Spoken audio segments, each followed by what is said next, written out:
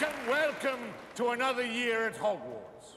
Now, I'd like to say a few words before we all become too befuddled by our excellent feast. First, I'm pleased to welcome Professor R.J. Lupin, who's kindly consented to fill the post of Defense Against the Dark Arts teacher. Good luck, Professor.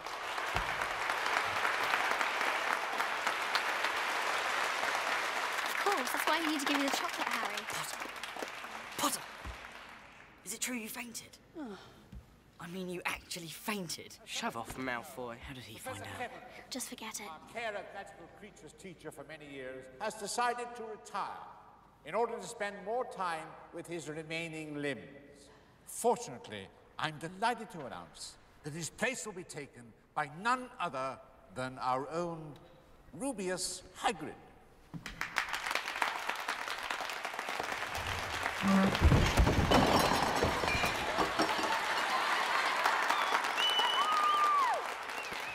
Finally, on a more describing note, at the request of the Ministry of Magic, Hogwarts will, until further notice, play host to the Dementors of Azkaban until such a time as Sirius Black is captured. The Dementors will be stationed at every entrance to the grounds. Now, whilst I've been assured that their presence will not disrupt our day-to-day activities, a word of caution.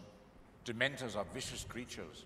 They will not distinguish between the one they hunt and the one who gets in their way. Therefore, I must warn each and every one of you to give them no reason to harm you. It is not in the nature of a Dementor to be forgiving.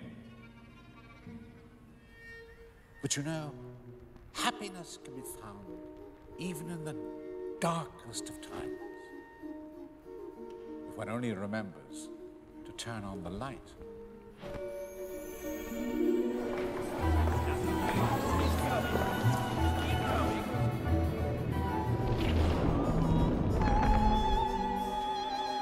Fortuna Major.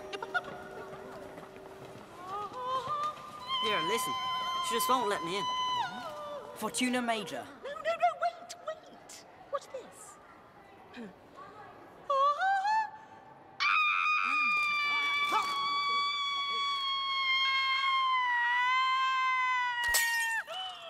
Amazing! Just with my voice. tune-up Major. Yes, all right. Go in. Thank you. Plebs. She's, she's still doing that. I know. Brilliant. She, She can't, can't even sing. sing. Exactly. Exactly. Go. Hey, man. No, man. Oh! Oh!